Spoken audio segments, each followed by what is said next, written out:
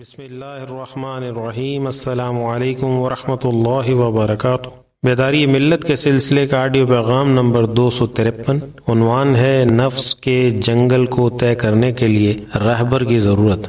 مولانا رومی فرماتے ہیں، نفس نمرود ہے اور عقل جان خلیل ہے۔ روح کی خاصیت مشاہدہ ذات ہے، جبکہ نفس دلیل میں مستغرق ہے۔ مسافر کو راستہ دکھانے والوں کی ضرورت لاحق ہے، ورنہ وہ وسیع تر جنگل میں گم ہو سکتا ہے۔ اللہ کے واصلوں کو صرف آنکھ اور چراغ کی ضرورت ہے۔ رہنما سے انہیں بے نیازی ہو جاتی ہے۔ اگر وہ کوئی دلیل بیان کرتا بھی ہے، تو بحث کرنے والوں کی عقل کے لیے بیان کرتا ہے۔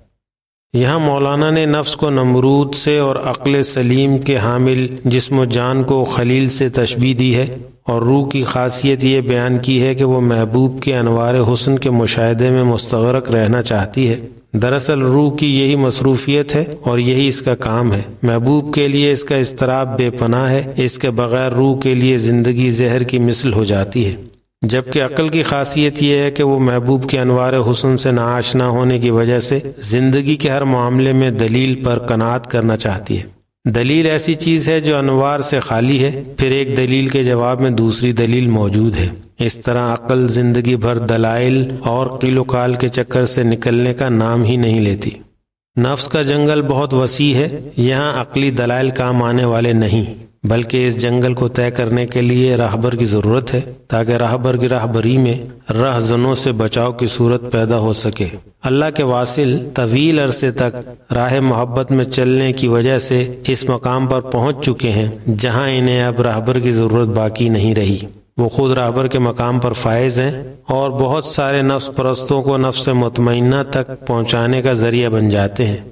اور جہاں صاحبان دل کو نہ تو خود دلیل کی حاجت رہتی ہے، نہ اپنے عقیدت مندوں کے سامنے انہیں دلیل بیان کرنے کی ضرورت لاحق ہے۔